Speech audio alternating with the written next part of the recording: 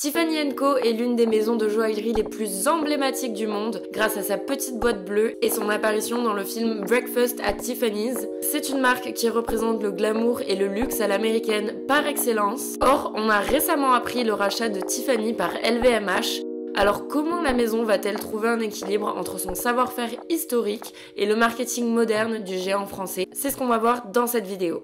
Hello tout le monde et welcome back sur ma chaîne. Bon les gars je suis trop trop contente de vous retrouver pour cette vidéo aujourd'hui parce que ça y est je reprends les vidéos sur les histoires des grandes maisons Oui ça fait à peu près un an que j'en ai pas fait. Tout simplement parce que j'en ai fait genre une vingtaine quasiment à la suite et ça m'a saoulé Je vais vous dire la vérité. Mais voilà c'est un type de vidéo qu'on m'a demandé pas mal de fois de refaire. Je sais que énormément de personnes m'ont suivi pour ces vidéos. Donc j'ai commencé cette euh, série de vidéos en parlant des maisons de couture. Mais aujourd'hui j'ai décidé d'aller un petit peu plus loin euh, puisqu'aujourd'hui on va parler d'une maison de haute joaillerie qui est Tiffany Co. Je me suis dit que ce serait une bonne manière de revenir un petit peu dans ces vidéos sans m'ennuyer pour autant. Donc j'espère que ça vous plaira et on commence tout de suite. Donc comme d'habitude, je vais commencer par présenter le créateur de la maison. Alors le créateur de la maison c'est Charles Levis Tiffany. C'est un Américain né dans le Connecticut en 1812 et Charles il fait pas de longues études puisqu'à l'âge de 15 ans il va travailler avec son papa dans son magasin et puis finalement à l'âge de 25 ans il part à New York avec 1000 euh, dollars en poche qui fait aujourd'hui avec l'inflation environ 27 000 dollars qu'il a du coup emprunté à son père. Il va ouvrir un magasin avec un copain à lui en 1837 et ce magasin c'est un magasin de souvenirs. Le magasin en question a pas mal de succès du coup ils vont rapidement upgrade les produits qu'ils vendent et ils vont se spécialiser dans la cristallerie, la porcelaine, l'argenterie, la joaillerie, bref, tout ce qui brille. Les affaires marchent super bien, si bien que Charles il va racheter toutes les parts de son pote et du coup la boutique va porter uniquement son nom désormais. Et puis au fur et à mesure il va commencer à créer ses propres bijoux. Donc qui l'eût cru Tiffany Co c'est parti de ça pour devenir ça. Donc le Charlie, il a vraiment envie de s'imposer comme un mec qui pèse dans le game, puisqu'il va tout simplement racheter une très très grosse partie des bijoux des aristocrates européens. Par exemple, en 1887, il va acquérir un tiers des joyaux de la couronne de France lors d'une enchère au Louvre, et donc on va tout simplement le nommer le roi des diamants. Et du coup, grâce à cette reconnaissance, ça va devenir quelqu'un de très très important dans le monde de la joaillerie. Dès 1850, il ouvre une boutique à Paris et à Londres en 1868, et puis ils vont également ouvrir une fabrique de montres à Genève pour pouvoir également développer l'horlogerie. Mais Tiffany's va également avoir une importance nationale puisque par exemple en 1862, Abraham Lincoln, oui, euh, rien que ça, va acheter une parure pour son épouse qui les porte au bal d'investiture. Il faut savoir également que c'est Tiffany qui a dessiné le sceau des États-Unis sur tous les billets de dollars américains. Donc euh, voilà, c'est pas rien quoi. Charles va donner un symbole vraiment iconique à la maison et c'est tout simplement la couleur bleue Tiffany. Donc c'est un espèce de bleu turquoise qui va être présent sur les sacs, les emballages, les packaging et même les catalogues du joaillier dès 1845. Aujourd'hui la petite boîte bleue avec un petit ruban blanc dessus, c'est vraiment un signe de raffinement et de sophistication. Et du coup pourquoi Charles a choisi cette couleur bleu turquoise? Donc faut savoir qu'à l'époque victorienne, c'était une couleur hyper appréciée des mariés parce qu'il y avait une tradition selon laquelle les épouses donnaient à leur suivante une petite broche bleu turquoise avec la forme d'une colombe comme souvenir du mariage. D'ailleurs c'est une couleur déposée donc tout le monde ne peut pas l'utiliser comme ça. Donc après Charles Tiffany on a évidemment son fils qui prend la suite qui est un peintre et un designer décoratif assez connu à son époque et c'est lui qui dirige Tiffany's vers la direction de l'art nouveau. C'est un style qui s'oppose à l'industrialisation et qui prône un petit peu un retour aux motifs naturels, aux formes épurées, couleurs, etc. Du coup les créations de Louis vont orner les plus gros bâtiments de l'époque et même l'intérieur de la Maison Blanche en 1882. En 1940, la boutique va être déplacée sur la 5ème avenue qui est un petit peu la rue qui pèse à New York. Pour vous dire, c'est un peu l'équivalent des Champs-Élysées à Paris. Et ce bâtiment aujourd'hui est classé parmi les monuments historiques et il accueille le fameux salon thé Tiffany's aux couleurs bleu turquoise. Donc maintenant, je pense qu'il est temps de parler un petit peu des plus grands joailliers qui ont travaillé chez Tiffany's. Ils ont eu de grands grands designers et également gémologues. Il y a eu par exemple George Kunz, qui était un minéralogiste et tout simplement un pur génie puisque à l'âge de seulement 23 ans, il était vice-président de Tiffany's. Il a découvert des pierres précieuses très très rares comme par exemple la Kunzit en 1902 et c'est également lui qui a inspiré à la création du Cara pour mesurer les pierres précieuses. Ensuite, faut savoir que seulement 4 joailliers sont autorisés à signer leur création chez Tiffany's. Donc on a Jean Schlumberger, Paloma Picasso, Elsa Peretti et Frank Gehry. Donc le premier, Jean Schlumberger, il a rejoint Tiffany en 1956. Il a commencé sa carrière dans les années 1930 en créant les boutons pour les vestes de Elsa Schiaparelli, qui était une très très grande créatrice. C'est donc comme ça qu'il s'est fait repérer par Tiffany. D'ailleurs, lui aussi est devenu vice-président de Tiffany Co. Il s'est énormément inspiré de la nature. D'ailleurs, l'une de ses pièces les plus célèbres, c'est la broche Bird on the Rock, qui a porté le Tiffany Diamond, un des plus gros diamants jaunes du monde. Je vais vous en reparler. Ensuite, on a Elsa Peretti qui a rejoint Tiffany en 1974. C'est elle qui va imposer l'argent comme un métal important dans la création joaillière, ce qui est vraiment une nouveauté. Et l'une de ses créations les plus marquantes, c'est la manchette de la collection Bone, qui représente un os humain. C'est un bijou qui s'écarte totalement de la joaillerie traditionnelle à cette époque. Voilà, c'est vraiment débarrassé de tous les diamants, de tout l'or. Ensuite, on a Paloma Picasso. Donc vous l'avez compris, ce n'est autre que la fille de Pablo Picasso. Elle conçoit également des bijoux pour euh, Tiffany Co depuis 1980 et l'une de ses collections les plus connues, c'est Paloma's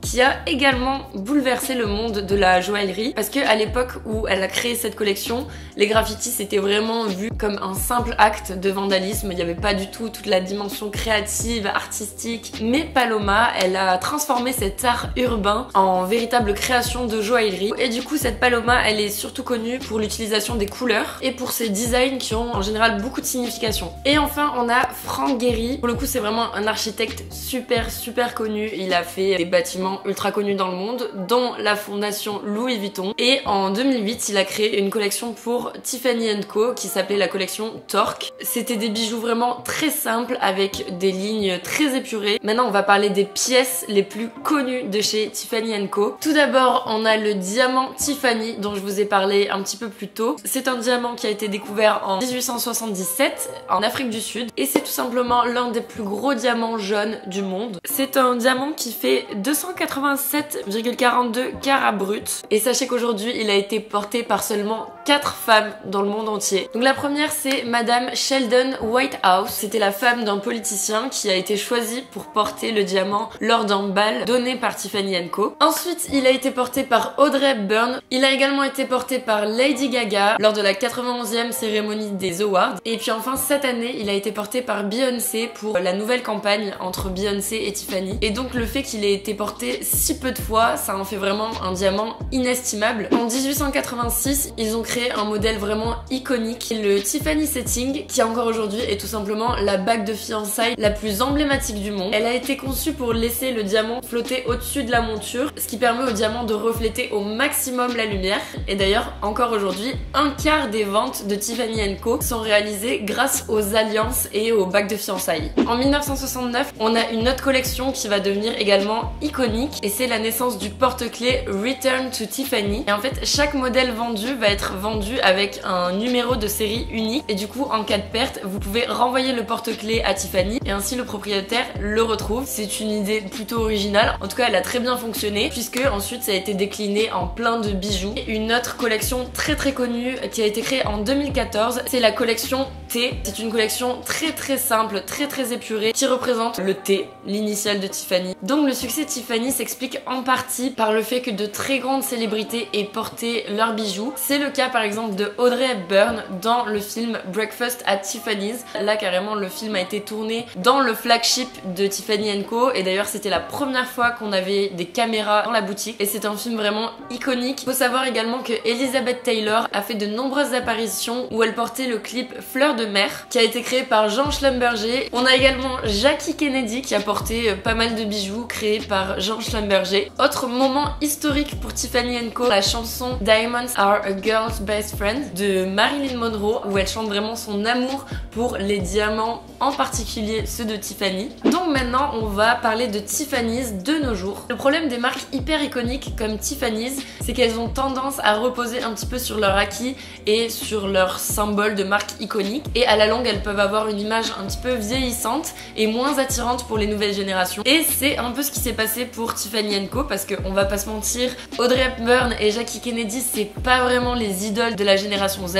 C'est devenu une marque moins dans le coup avec une image un petit peu vieillie. Du coup, Tiffany's a entrepris un nouveau plan de communication pour moderniser à nouveau l'image de la marque. Comme je vous l'ai dit, en 2019, on a également Lady Gaga qui a porté le Tiffany Diamond lors de la 91e cérémonie des Oscars. C'était vraiment en hommage à Audrey Hepburn parce qu'elle portait une robe noire assez similaire. Et l'histoire entre Lady Gaga et Tiffany Co ne s'arrête pas là puisqu'elle a également été choisie comme égérie pour une campagne. Et la campagne a été dévoilée à l'occasion du Super Bowl, un événement sportif américain ultra important. Et surtout ce qui a marqué un énorme virage pour Tiffany Co, c'est le rachat par LVMH cette année en 2021 après des négociations un petit peu chaotiques. Tout simplement parce que LVMH avait promis un prix de rachat de 16,2 milliards d'euros. Sauf qu'avec le Covid, les ventes de Tiffany ont chuté et donc sa valeur également. Donc LVMH, ils ont dit non, non, non, c'est mort, on vous rachète pas à ce prix-là. Tiffany, de leur côté, ils ont un petit peu pété un plomb, donc ils ont collé un procès à LVMH. Et finalement, après de multiples négociations, ils se sont entendus sur un prix. Et finalement, LVMH a racheté Tiffany pour le prix de 15,8 milliards d'euros. Et on peut dire que LVMH, ils ont vraiment, vraiment mis le paquet pour moderniser cette image un petit peu vieillissante et augmenter la désirabilité de la marque. Ouais, c'est super dur à dire.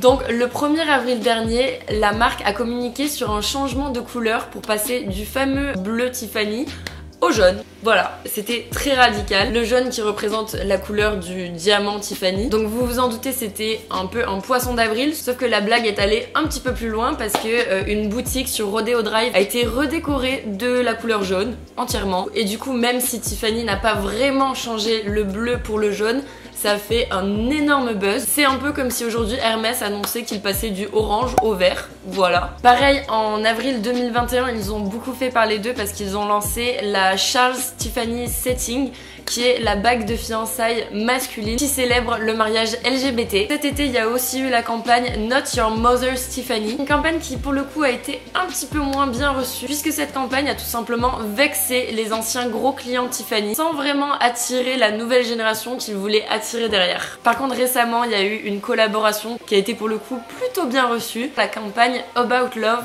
avec Beyoncé et Jay-Z qui représentent vraiment le conte de fées moderne et donc ce qui fait Beyoncé la quatrième femme à avoir porté le diamant Tiffany. Et enfin, la marque a signé récemment un contrat avec Rosé qui est un membre de Blackpink, donc un groupe de K-pop. Et donc l'objectif c'est d'attirer une clientèle asiatique très très friande de ce genre de produits. Et en 2022, le collier devrait être porté pour la cinquième fois dans un film qui s'appelle Mort sur le Nil. Donc les amis, c'est l'heure de faire une petite conclusion. Donc Tiffany Co, vous l'avez compris, c'est une maison de joaillerie vraiment iconique qui traverse les générations et qui représente le raffinement et la sophistication américaine par excellence. Cependant, l'image de Tiffany Co a été assez mal gérée au cours de ces dix dernières années et donc à terme, ça aurait pu être très très dangereux pour la maison. Mais grâce à LVMH, l'histoire de la maison a pris un tout autre tournant en se concentrant sur trois axes focus sur le haut de gamme et la haute joaillerie pour redonner une image vraiment très très luxe à Tiffany Co. Ensuite on a le travail pour rajeunir l'image de marque comme on a vu. Et enfin la valorisation du patrimoine et du savoir-faire de Tiffany. Et en effet entre les compétences marketing et commerciales de LVMH et le savoir-faire de Tiffany, on peut s'attendre à de très grandes choses pour les prochaines années. Donc voilà les gars, j'espère que ce nouvel épisode des histoires des grandes maisons vous a plu. Dites-moi du coup si ça vous intéresse que je fasse des épisodes pas seulement sur la mode également sur la joaillerie, pourquoi pas sur la parfumerie aussi. Si vous avez aimé la vidéo, je vous invite à la liker, à la commenter, ça m'aide énormément. Donc voilà, en attendant, je vous dis à très bientôt. Bisous